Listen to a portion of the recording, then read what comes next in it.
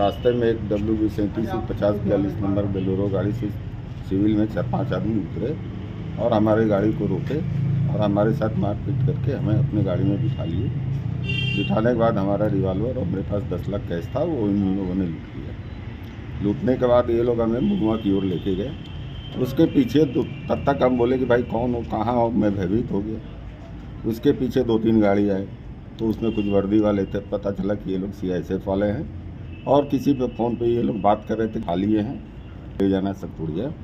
सतपुड़िया ना ले जाके ये लोग निरसा थाना मेरे रिवाल्वर को छीने मेरे पैसे को छीने मेरे साथ मारपीट किए और निरसा थाना ले। आज मुगमा सीएसएफ की टीम अ, जो है श्यामपुर की खुलेरी एरिया की तरफ़ सांगा महल क्षेत्र में गश्ती पर थी। उसी वक्त वहाँ पे स्थानीय निवासियों के द्वारा और एक व्यक्ति जिनका के नाम रामाशंकर सिंह बताया जा रहा है। तो कुछ हाथापाई की घटना हुई और सरकारी कार्य में बाधा पहुँचाने का कार्य किया गया है। इस संबंध में सीएसएफ के द्वारा मिर्सा थाना को एक आवेदन दिया गया है। जिस पर